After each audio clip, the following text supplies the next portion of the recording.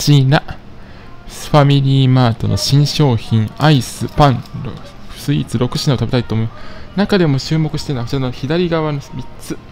植物生まれのモンブラン、ショコラテリーヌ、ソイクロバス、いずれも植物系の原材料を使っているということなんですね。ということは、アレルギーに配慮しているのか、それとも自然？どっちなんだろう？まあ、た、そして味はどうなのか、まあ、食べてみれば分かりますね。それでは、うんええっと、植物性商品も気になるんですけど、やっぱり溶けると嫌なので、まずはアイスから、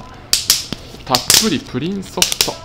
うん見た目は確かにプリンのようなカラメルソースがかかった黄色いソフトクリームなんですけどいや黄色というか黄土色かな。まあ食べてみれば本当にプリンなのかどうか分かりますね。ではいただきます。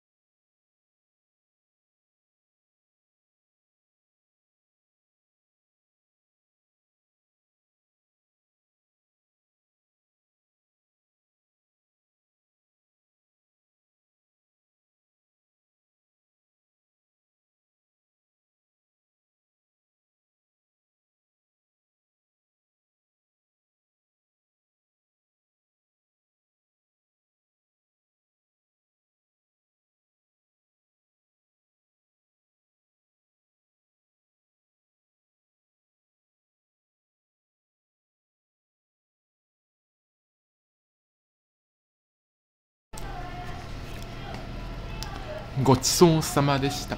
最初に食べたたっぷりプリンソフトはプリンのカスタード部分は口の中でふわっと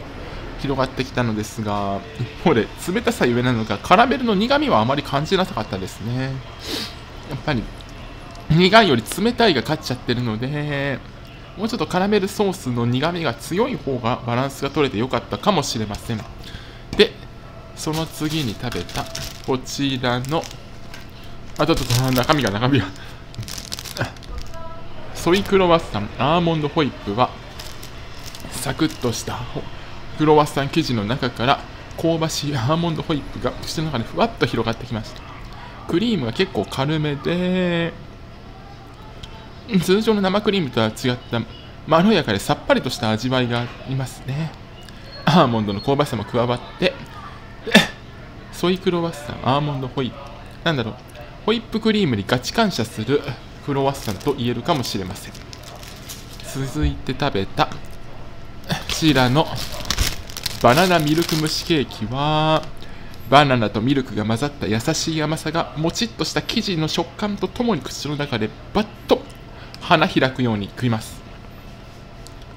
バナナミルクは甘甘いんですけどそんな後に残るようなしつこい甘さではなくさっぱりとして少しまったりとしたちょうどいい甘さなので心まで癒してくれそうですね。まあ自分がバナナ好きっていうのもあるのかもしれませんが。その次植物生まれのショコラテリーヌ。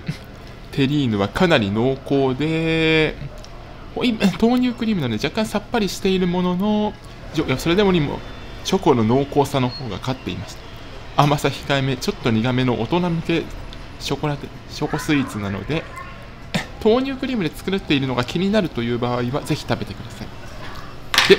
その次に食べたのはこちらの野上監修しっとりホイップあんパン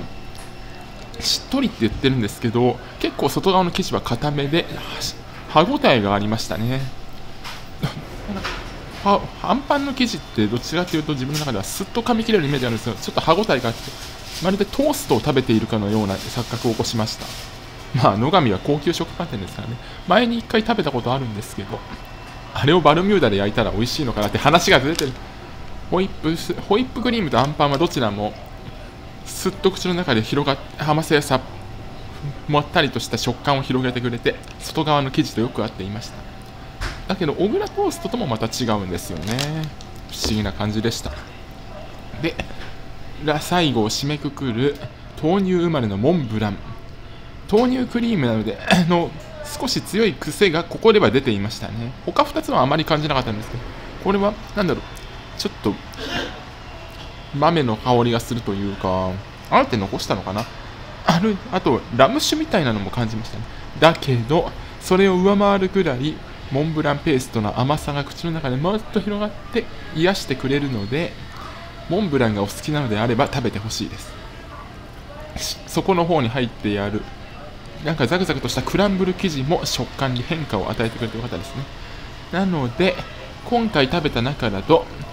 豆乳モンブランがザクザクとした食感や香りまったりとした甘さを